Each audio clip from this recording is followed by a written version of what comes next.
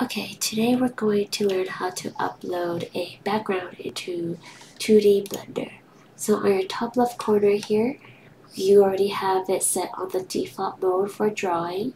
So what we'll do now is switch it over to object mode. Once you're in object mode, you can easily hit Shift A and it should bring you up a menu. In the menu, you'll scroll down to image, then to background. It will then show you a Blender file view. You don't see it on my screen right now, but it will pop up.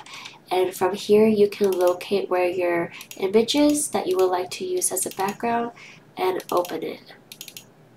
Once you have it open, you can hit R to rotate, S to sh sh uh, shrink it or resize it, and then G to move it around. Once you have decided where you want it, hit enter, and then you will go over to the right hand corner up top here to switch it from empty to stroke. Once you switch it over, you can continue to draw in drawing mode and draw on top of it or whatever you want to it.